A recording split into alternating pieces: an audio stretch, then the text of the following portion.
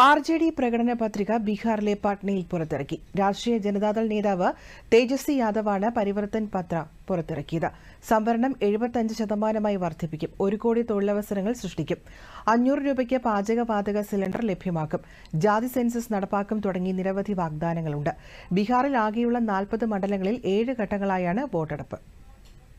एक लाख रुपए का हम लोग जो है सहायता देंगे और आप लोगों के समक्ष हम बताना चाहेंगे तीसरा कि पाँच सौ रुपये में गैस सिलेंडर का भाव जो है कर दिया जाए। आज जो है 1200 1500 मिल रहा है।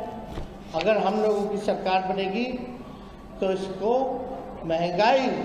जो चरम सीमा पर है, महँगाई को कम करने के पाँच सौ रुपये में गैस सिलेंडर जो है, उस चीज़ को हम लोग कर देंगे।